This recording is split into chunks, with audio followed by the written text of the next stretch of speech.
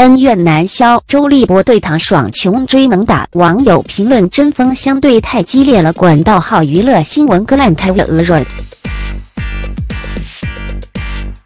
如今，周立波对昔日友人学者唐爽的怨气可十足，但曾经周立波和唐爽也有过很长的甜蜜期。在周立波看来，自己送一送表给唐爽资助学业，后来还找人照顾瘫痪的唐爽，而唐爽则认为一是不合身的表的价值不符，是凭自己的努力在美国生活的。俩人在美国同车藏枪涉毒。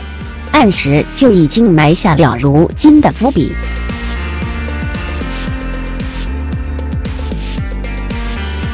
周立波将跳反的唐爽视为眼中钉，连续几天都推文嘲讽唐爽，而唐爽也不甘示弱，向法院求助诉讼。但周立波仍然怨气难消。唐爽真的如他所说是白眼狼真眼汤吗？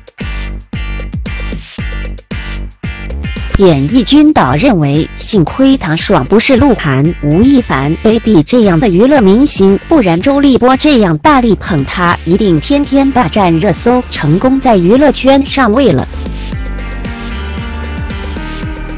网友则大致分为两派，支持唐爽的认为，周立波为什么要用最脏的语言骂人？对与错是一码事，教养就是另一码事了。每天这样忙着去踩别人抬自己的人，他又能高尚到哪里去？而支持周立波的网友则反驳道：“谁先踩谁先了解下，不是唐爽自己跳出来找骂的吗？一个搞科研的人为什么要出来搅浑水？为了证明某某是好人？太天真了吧！站着说话不腰疼。”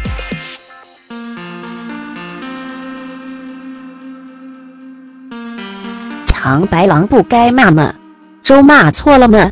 你在这里和你八竿子都打不着的人指指点点，你的教养好到哪里去了？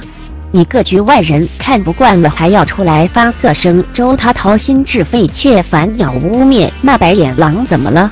我觉得还骂得太客气，太文明。对于周立波一直对唐爽，你有什么看法？